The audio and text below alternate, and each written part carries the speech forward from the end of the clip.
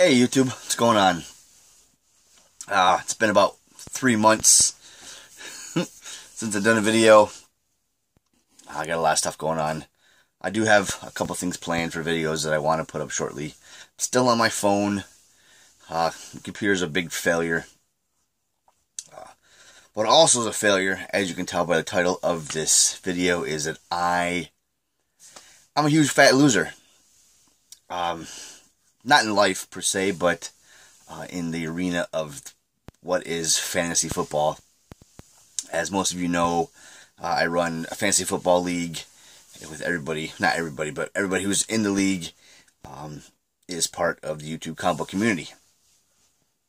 And I made a side bet with Scott, um, running with comics.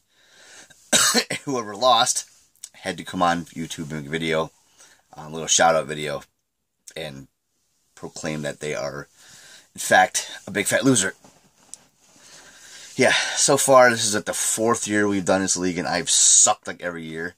Um, officially tonight, I have been eliminated from the playoffs. Thanks to Jason Witten getting zero points from me this week. Yeah, uh, but back to Scott. Um, if you don't know him, I'm sure most of you do now. He's been around for about four or five years now. Got a shit ton of subs.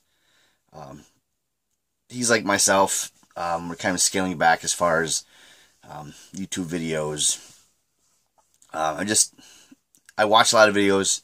Um, it's just for me to get on here at late at night. Like now, it's going on eleven o'clock at night. It's just tough. It's tough for me to do. By the time I get around to doing it, I just just not feeling it. Um, like I said, if I do have a bunch of videos that I want to do, but not about me. This is about Scott. Um, I believe he's in third place. I believe overall, he's clinched a playoff spot. He's doing good this year. And it's about time. I think I'm so glad he's finally been taking his wife's advice on fantasy football. He's actually doing good this year. Um, don't let him bullshit you. I'm sure she's helping him. That's the only logical explanation why he's doing good this year. Um, there's no way he can do it by himself. I, I don't even think he ever played fantasy football, um, other before our league we've done the last four years. And if he has, he's been very poorly at it. So I'm sure Emily's helping him. If not her, I'm sure his son is helping him because there's no way he can do it. On, no way he can do it on his own. There's just no way. Um, that's my story, and I'm gonna I'm gonna stick to it. but um, but please please check Scott out. I have no idea how to put a description, you know, his link to his channel below. But running comics, he's everywhere. Um, so like said, you're sub to me. I'm sure you're sub to him. Please check him out.